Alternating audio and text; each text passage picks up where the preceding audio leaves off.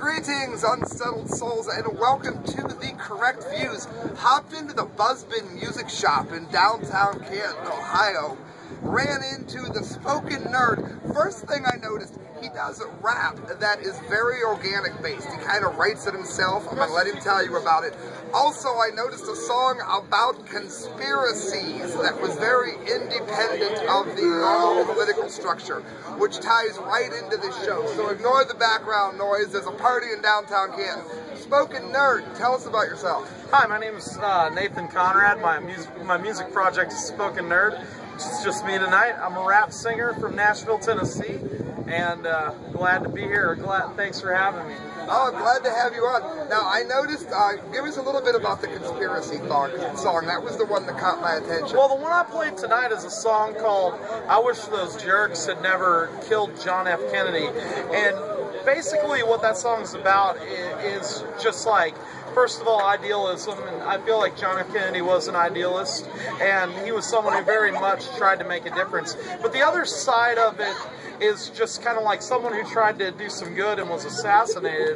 And the fact that people still to this day claim that there was no conspiracy to, behind that. I'm not the first one to like jump on board on on a conspiracy theory to be honest with you. But my thing is like if you actually believe what the Warren Commission says happened I, I mean, I, I, I, really don't even know where to start with you because it's it, it's like that is the biggest crock of crap I've ever heard. I mean, you know, the bullet going through him into the other guy, the magic bullet thing. I mean, that's that's silly. I noticed like, you were talking about vaccines too, and I, I began to avoid those like the plague. Do you think the, the whole one world government was something that he was warning against, and do you think that led to his uh, execution or assassination? I, I don't think it was that. I, I think it was a number of things, though. Um, I, I think it had more to do with the Federal Reserve, but I don't I don't claim to have a very good explanation of what happened. I just know what didn't happen, and that's what they say happened. And about you know administration and then how that can like tap into things, branch into things, and like it all ties When does it ever work? Gotcha. He's doing an interview here. Oh, I'm sorry. Oh, oh no problem at all. Um, I wanted to ask you, now that you're on tour, when, when, uh, um, when this is being posted May 3rd, 2013, where are you going and when can people hear what you do? Well, uh, tomorrow I'm actually going to Pittsburgh for a wedding, so sorry, but I don't have any more invitations for it. It's not my own wedding, it's a good friend of mine's.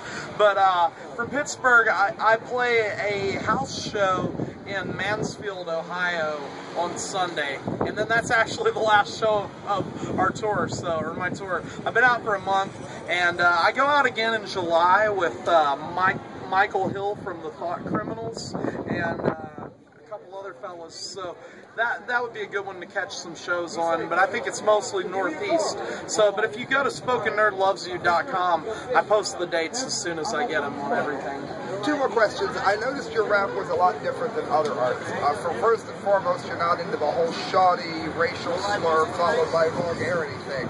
And lastly, it sounded different.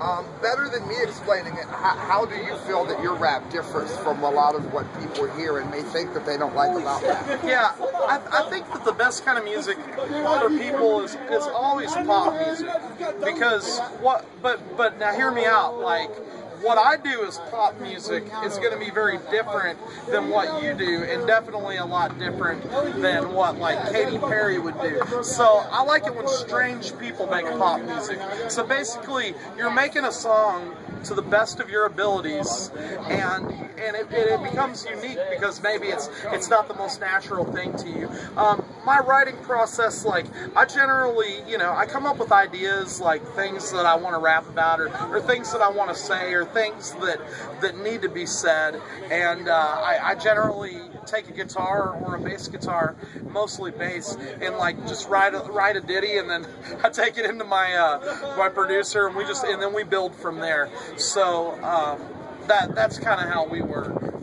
My, my favorite last question.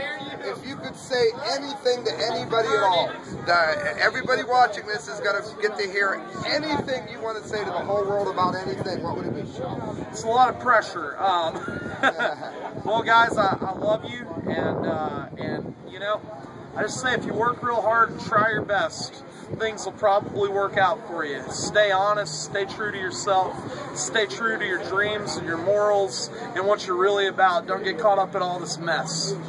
Thanks. All right, everyone, thanks for listening to the Correct Views. Check out the Spoken Nerd. I was very impressed. As you know, regular viewers, I'm in an industrial band and I'm hyping a rap project here because it was that good. Thanks for listening to the Correct Views, friends. Good night and God bless.